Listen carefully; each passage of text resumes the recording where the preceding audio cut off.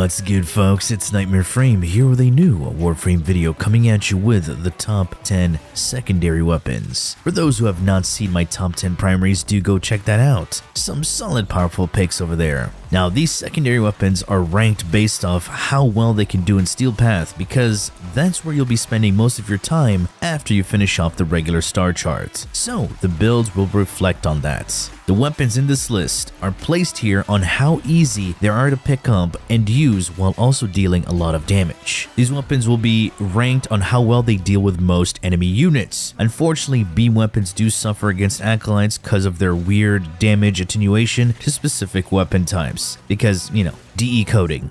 But before we get into the list, a quick word from today's sponsor. Are you ready for the ultimate fantasy RPG experience? Look no further than Raid Shadow Legends. Raid is a turn-based RPG where you gather powerful champions, use team synergy to fight against mighty foes, and do your best to defeat them against all odds. Enjoy the epic campaign where you'll uncover prophecies, curses, betrayals, and meet more than 12 warring factions. Use the QR code or my link in the description to download Raid.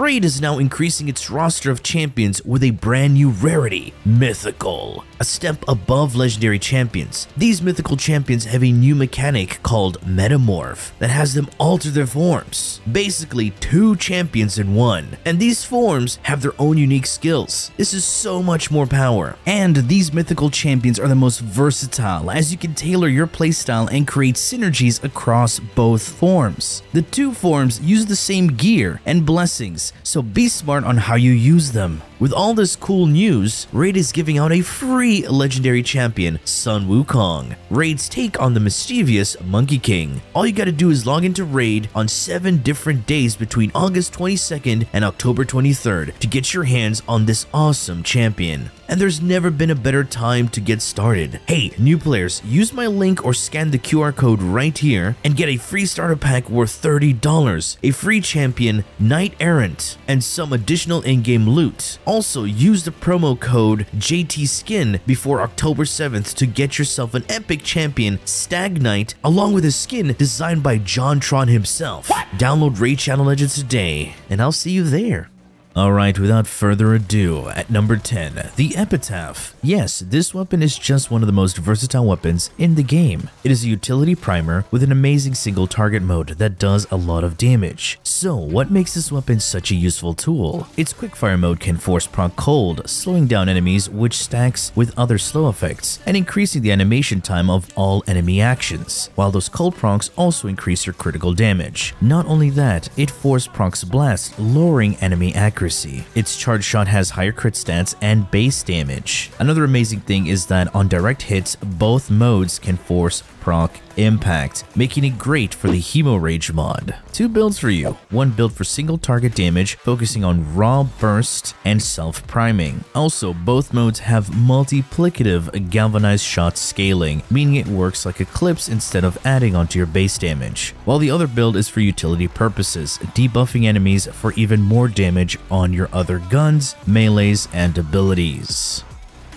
Number 9. The Bronco Incarnon. This weapon is such a simple gun that can clear hordes of enemies. You don't need much, just click heads, get the Incarnon charge, and click more heads to have an AoE slash proc. However, you have to directly hit enemies to spread the damage. The AoE damage does deal impact proc, not forced, but deals impact and has a chance to proc depending on your status chance. So this means it's also good with the Hemorrhage mod, and it has the appropriate amount of fire rates to have double the effect effect, and the dizzying round augment for the massive boost in status chance to proc the impact more along with the added crowd control. This is a recommended build along with its evolutions. For more information and in-depth look, I highly recommend taking a look at my Bronco Incarnon video.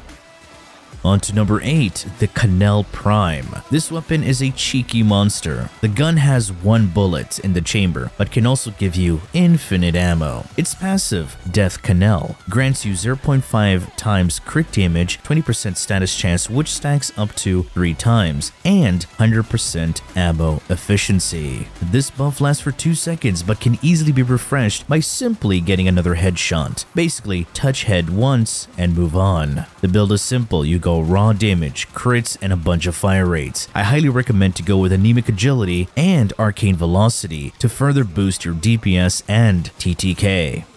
Number 7 the Gaze Kit Gun. This is one of the strongest secondary beam weapons for its sheer raw power, especially when you pair this up with the Pax Arcanes. The beam has 1 meter of innate punch through, can chain to a total of 2 enemies within a 5 meter radius, and its initial hit has a 3 meter AoE. It's built from the Gaze Chamber, Splat Loader, and the Haymaker Grip, focused for more crit and base damage. Its innate radiation and puncture. The puncture proc stacks are nice to give you that flat critical chance boost, and mod it with your elemental combination. The build is focused on raw DPS to shred base steel path, and the Pax Seeker Arcane for the additional AoE when getting headshot kills. You send out seeking projectiles to damage nearby enemies, and these projectiles do get boosted by headshot damage multipliers and other external damage sources. For example, Eclipse from Mirage gives it double the damage.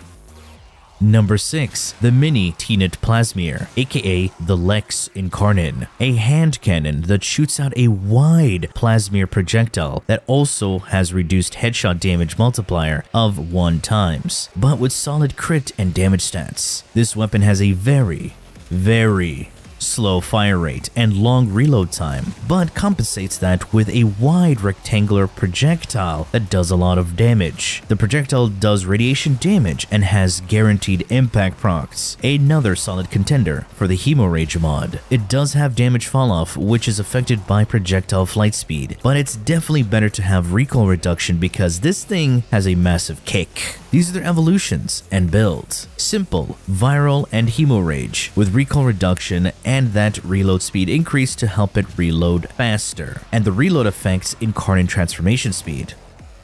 Number 5. Ocucor. This is basically that beam weapon that you can pull out if you don't want to worry about aiming or reloading especially with this augment, Sentient Surge, basically giving you free crit and status chance buff the more you kill, and each enemy killed refills your magazine. So all you have to do is hold down the trigger and burn down enemies. Focus on fodder units first to build up your stacks and then just do whatever you want. And yes, this weapon does suffer against acolytes, but it's just a brain dead weapon for crazy ad clear. Instead of modding for crit chance, the augment is used in its place, and you can also add on to that by using using Arcane Avenger or Warframe crit chance buffs. Number 4. The Prisma Angstrom. This went from a dookie weapon to being such a solid pick. You of course don't use this for its primary mode, that's just stupid. But what makes it such a solid pick is that you don't need headshots to charge the Incarnon. Just fire into an enemy to get your charge, transform and go to town on enemies. That sounded wrong. It shoots at homing ricocheting projectiles, very good for ad clearing and mowing down base steel path. I made a busted synergy using this weapon with Mirage and Xata's Whisper when this weapon first came out. Still a very solid loadout. However, I have a very simple shoot and hold down the trigger type of build. Cascadia Flare for its base damage since its incarnate is base heat. Mod for raw corrosive to deal raw damage, pairing well with heat to armor strip and deal additional damage to armored units. Here we are at the top 3, looking at the most random weapon that shot to the top, and that is the Furis Incarnon. This weapon is a solid pick for anyone looking to blow their load into enemies' faces. That's exactly what I said. It's an auto pistol that turns into a very strong beam. The only downside is that the weapon can't be modded for beam length to increase its reach. The beam has a reach of 16 meters with damage fall off and anything past that, you deal no damage. It's a simple aim and spray type of weapon that doesn't require that much aiming. The second evolution depends whether you're playing frames like Wisp or Gyre to proc electricity for more multi-shot or bonus damage with overshields, playing anything else. It's innate heat in its incarnate mode, but I went with a raw, corrosive damage build here to help it gain a bonus burst to take down base steel path. It does suffer against acolytes, so use other items for them. Number 2. The Laetum, one of the original pure Incarnon weapons. This weapon has a single target main mode which does decent damage, but its Incarnon form turns it into a massive bullet hose with splash damage, great for ad clear and single target DPS. Of course, there's a debate between the crit Laetum and the non-crit version. Answer is simple, if you're using this to kill trash fodder units, then it doesn't matter which version you use. But for serious damage focus scaling, then a crit Laetum is a better choice. And if you're going to use specific loadouts with Warframe synergies, then either loadout can work for you. But the homie Asian Invasions made an amazing detailed explanation on either version of the Laetum. These are the evolutions. Less recoil, reload speed on headshot, which also affects Incarnate transformation speed, headshot damage multiplier, and overwhelming attrition for a lot of damage and the build is for raw corrosive damage with juicy amounts of crits. Reminder, if you're using galvanized scope, remember to ADS. Before we get to number one, here are some of the honorable mentions. The Zymos with the head-seeking projectiles that can deal a lot of damage. It's a great weapon, but it requires a lot of setup. The Zylok Incarnon has a lot of promise, decent AoE but low magazine, and it still has a few bugs that DE did not fix. The Lato Incarnon is another great option for a red crit AoE secondary that functions similar to the Bronco Incarnon. But of course, whatever is not mentioned here is what you like to use, and that's all up to you. Enjoy the game how you want to play. That's the most important part.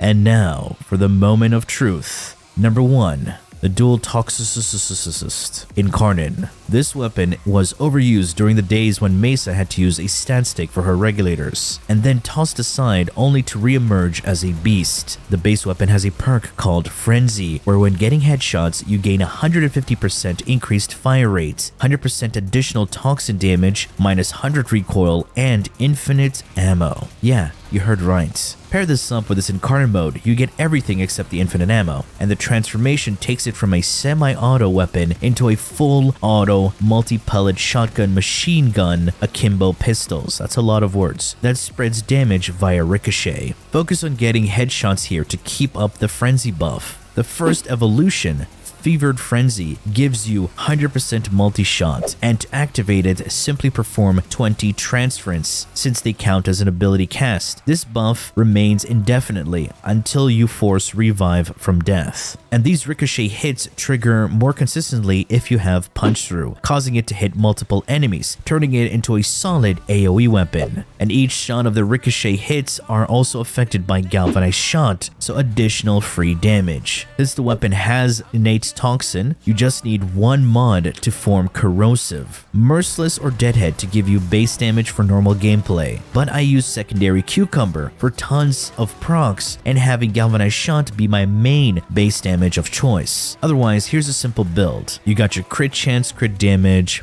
punch through, and the electric elemental damage mod. And if you were to take this into disruption, you can replace the punch through mod with galvanized crosshairs for the additional crit chance. Alright folks, these are the top 10 secondaries you should be using right now. Get your hands on them and destroy Steel Path. So, folks, I hope you've enjoyed and learned something from this video. If you did, feel free to leave a like, share, and subscribe for more Warframe content, streams, and so much more. Do refer to the description. Thanks for watching, and as always, peace. Bye-bye now.